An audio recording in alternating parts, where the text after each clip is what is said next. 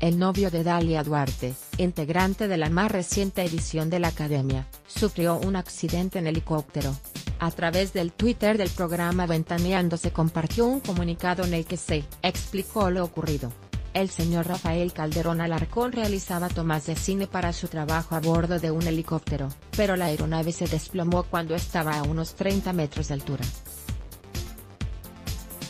El comunicado de Dalia Duarte respecto al accidente de su pareja pic.twitter.com barra News, Ventaneando Oficial, arroba Ventaneando 1, Juli 25, 2018 Calderón fue trasladado de emergencia a un hospital de San Diego, California y se encuentra fuera de peligro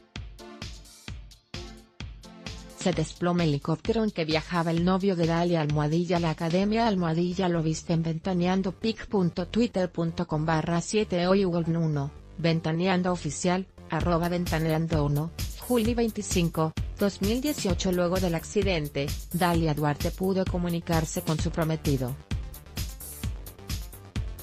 Recalifica tu crédito PYME. Desde $100,000 hasta $5 MDP te damos respuesta en 48 horas y puedes disponer del dinero en menos de 10 www.premo.mx.